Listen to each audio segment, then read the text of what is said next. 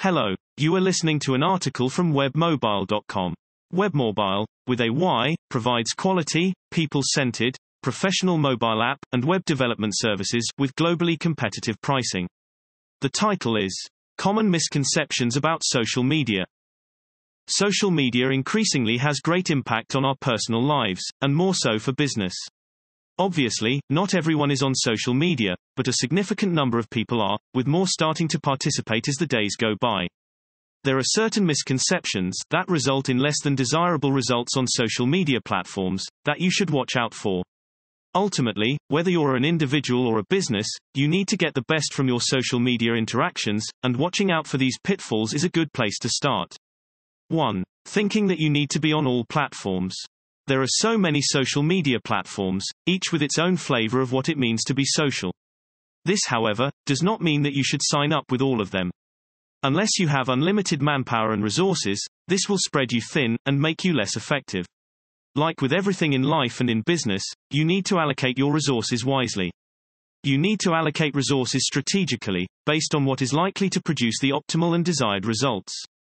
What you need to do is figure out which social media platforms will be the most effective for your business, and select the few on which you can make an impact.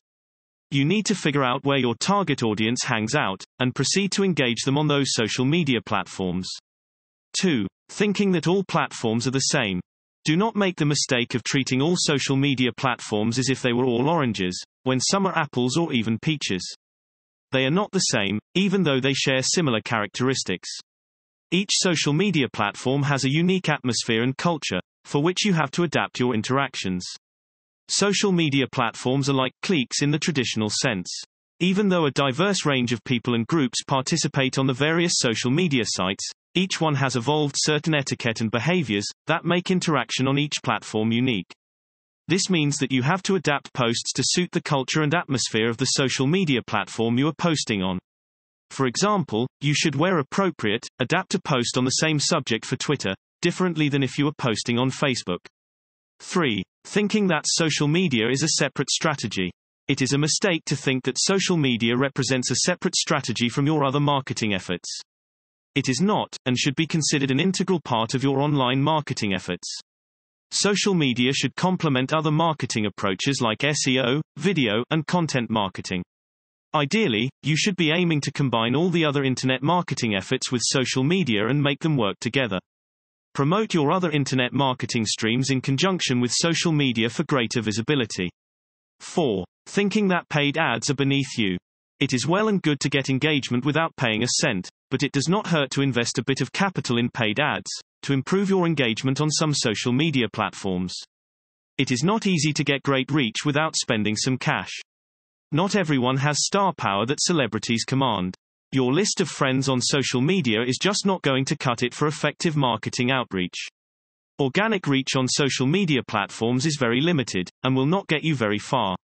Perhaps you may consider getting paid ads as a short-term strategy, to accelerate your growth on certain social media platforms, whilst you build your following.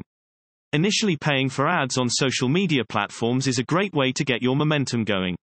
You may also want to consider the paid ads approach as an intermediate, to long-term, marketing strategy.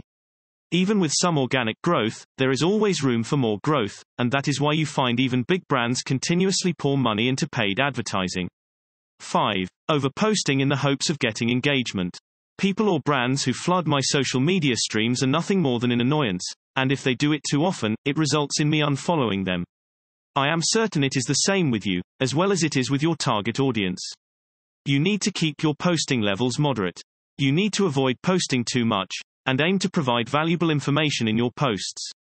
This can mean the difference between engaging your target audience and alienating them. 6. Ignoring analytics. All social media platforms provide some form of analytics that allow you to have your finger on the pulse of how your social media efforts are performing. Analytics are a vital part of your social media activities that allow you to gauge the performance and effectiveness of your activities and should not be ignored. You place yourself at great disadvantage if you do not pay attention to social media analytics. With analytics, you can visualize the performance of your posts and accordingly make adjustments, as well as decisions to increase your engagement, impact, and results. Avoid them and do better. These are some of the common misconceptions that might get in the way of your social media performance.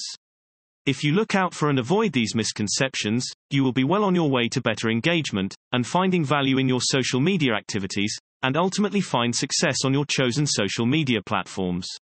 Want to know when a new blog post is published? Please subscribe. Thank you for listening to the article from webmobyle.com. A subscription button is available at the end of each blog post. We would love it and also encourage you to leave your comment at the bottom of the page.